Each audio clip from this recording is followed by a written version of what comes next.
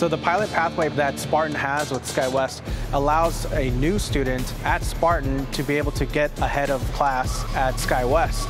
You need to be enrolled at Spartan first, then you can apply for the pilot pathway, and then you can go to SkyWest after your interview, and you'll have that possible $15,000 of tuition reimbursement with it.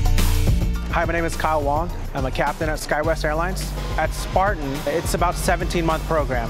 And then it takes about a year to get your flight time to go to SkyWest. Because you're at Spartan, you can sign up for the SkyWest pathway at zero hours. The first day you get here, you're able to be a SkyWest cadet.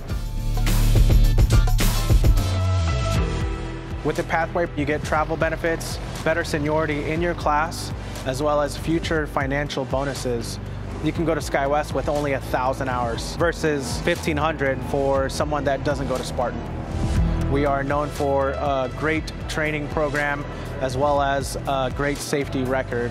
At SkyWest, you're able to fly non-rev travel on four of the major carriers in the United States using their benefits and flying on their aircraft. SkyWest is uh, one of the largest regional carriers in the United States. We have over 5,500 pilots, a great network, great pilot group. You gotta find that passion for flying and, and why you want to become a pilot.